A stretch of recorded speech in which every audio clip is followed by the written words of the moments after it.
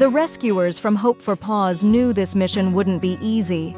Deep inside a cave, four trembling puppies huddled together, their eyes wide with fear. The darkness of the cave mirrored the isolation they had endured, cut off from human touch for so long that the mere sight of people filled them with terror.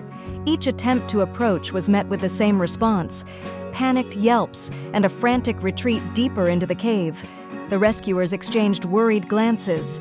Time was running out, and the puppies were too scared to understand that these strangers only wanted to help. They tried food, a tempting meal to coax them out, and it worked for one.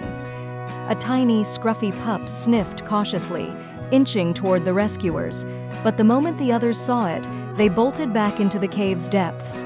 The darkness swallowed them again. One of the rescuers, refusing to give up, came up with a new plan. Carefully, he fashioned a loop to gently pull the puppies out, one by one. His heart pounded as he tossed it toward the puppies. Would they trust him? The first one was caught, and for a moment it resisted, thrashing in fear. But then something shifted. Maybe it was the soft words the rescuer whispered, or the gentle way he held the leash. The puppy stopped fighting. It calmed, sensing for the first time that no harm would come. With patience and care, each puppy was brought out of the cave.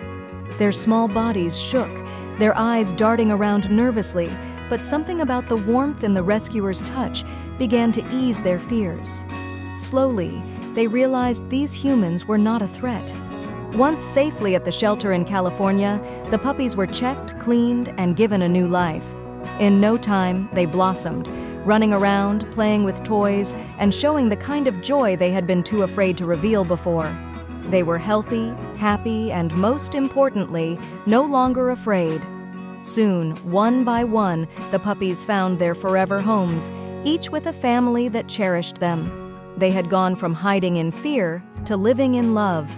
This story reminded the rescuers of something important. Sometimes the most frightened dogs have the most love to give. You just have to be patient enough to show them that the world isn't as scary as it seems. If you liked the video, put like and subscribe to the channel where you will find a lot of interesting things.